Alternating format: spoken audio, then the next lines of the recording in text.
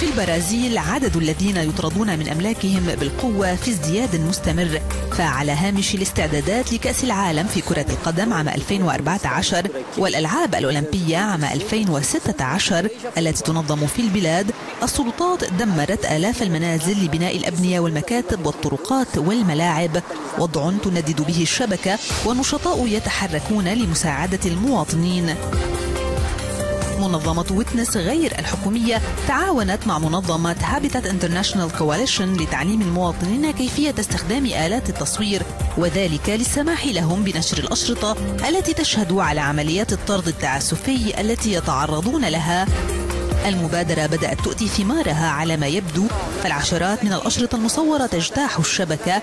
هنا مثلا سكان ريستينغا في ولاية ساو باولو يخبرون كيف اضطروا لترك مساكنهم وعملهم في بعض الأحيان من دون أي تعويض بسبب أعمال بناء طريق سريع. سكان فافيلا دوميترو القريبة من ريو دي جانيرو يؤكدون بدورهم أن من يرفض ترك منزله أو عمله عليه أن يعيش وسط الأنقاض لأن السلطات ترفض أن تنظف المكان ما لم يرحل الجميع. هذه الطريقة كما يقول النشطاء تستخدمها السلطات لإجبار الفقراء على ترك منازلهم.